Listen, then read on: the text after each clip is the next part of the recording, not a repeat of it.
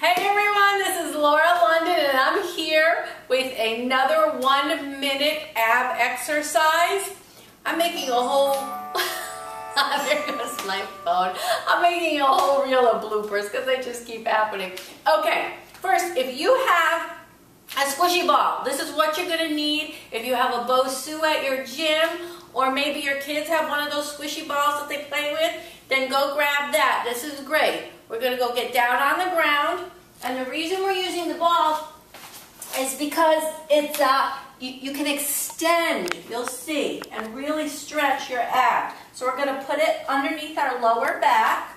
We're going to put those hands behind our head. Our feet are planted on the floor. I'm kind of on my heels. Look at this extension that I get. I'm really extending those abs and I'm crunching up. It's a small movement. I can feel it right here. I can feel those ab muscles engaging. Okay, so I want you to do 20 of these. They're great. And really focus on that stretch and pulling up from the abs. I don't want to see people throwing themselves up like this. Anytime you see those elbows coming forward, no.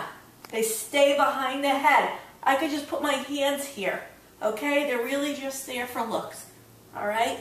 That's the correct way to really get that nice extension and the contraction on the abs.